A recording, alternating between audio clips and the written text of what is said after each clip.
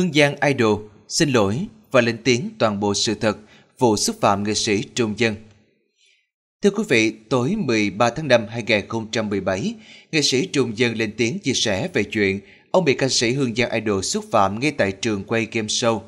Cụ thể, khi MC Đại Nghĩa đặt yêu cầu, các tường hay thăng phiền anh Trung Dân thích tìm tòi khám phá máy móc, xem xem nó hoạt động như thế nào. Có một lần, ông ấy đút đầu vào và ông ấy bị thương. Người chơi phải điền vào dấu bài chấm đó xem ông ấy đút đầu vô mấy gì. Mọi người đều đưa ra nhiều đáp án như là đút đầu vô lò nướng, máy chặt, tủ lạnh, lò vi sóng. Riêng Hương Giang Idol nói là đút đầu vô cầu tiêu. Câu trả lời của Hương Giang Idol đã khiến cho nghệ sĩ Trung Dân cảm thấy bị xúc phạm nặng nề. Ông đã yêu cầu Hương Giang Idol xin lỗi, nhưng nữ ca sĩ vẫn cho rằng đó là suy nghĩ của cô và không thay đổi câu trả lời. Quá tức giận, nghệ sĩ Trung Dân đã quyết định bỏ ghi hình. Chiều 14 tháng 5, Hương Giang Idol quyết định livestream để giải thích về sự việc. Nữ ca sĩ cho hay cô hoàn toàn không có ý xúc phạm nghệ sĩ Trung Dân, đây chỉ là một sự cố. Ngày hôm đó, chương trình quay liền năm số và Hương Giang đã phải làm việc liên tục trong nhiều tiếng đồng hồ. Khi MC đưa ra câu hỏi, lúc đó Giang đã quá mệt, không thể nhớ cụ thể câu hỏi như thế nào. Câu hỏi có nhắc tới tên ai mà chỉ được nhớ rằng có một món đồ dùng gia đình mà khi đút đầu vào đó thì sẽ làm hỏng đầu. Giang không hề nghe thấy có tên của nghệ sĩ Trung Dân trong đó, nên mới trả lời như vậy. Lúc đưa ra câu trả lời, Giang có nghe thấy một vài người bật cười.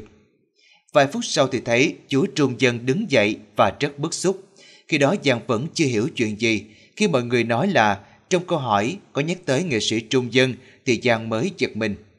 Ngay lúc đó, Giang đã đưa ra một lời xin lỗi rất chân thành rằng Chú ơi, cháu không nghe rõ câu hỏi, cháu không biết trong câu hỏi có nhắc tới tên chú, cháu xin lỗi chú. Nhưng chú Trùng Dân vẫn rất bực mình và rời khỏi trường quay. Sau đó, Giang cũng có định gọi điện thoại nói chuyện với chú. Nhưng người của chương trình nói là họ đã thay mặt Giang nói chuyện với chú Dân, nhưng thái độ của chú vẫn rất bực và không muốn nói chuyện với Giang. Chính vì thế, Giang chỉ có thể để lại tin nhắn mong chú bỏ qua sai sót của Giang mà thôi. Nhưng chú trả lời rằng, chúc mừng bạn, ban tổ chức đã quyết định bỏ tôi ra khỏi chương trình. Ngay lúc đó, Giang đã nói chuyện với ban tổ chức rằng hãy bỏ Giang ra khỏi chương trình, hãy để Giang nghỉ chứ đừng làm như thế với chú Trung Dân. Nhưng ban tổ chức nói rằng đó là quyết định của họ và Giang đã ký hợp đồng với chương trình thì bắt buộc phải làm tiếp. Những ngày sau đó, Giang vẫn hỏi mọi người về chú Trung Dân nhưng vẫn không nhận được tín hiệu tốt đẹp nào cả. Đến bây giờ, Giang cũng không hiểu sao câu chuyện lại được chia sẻ như thế này.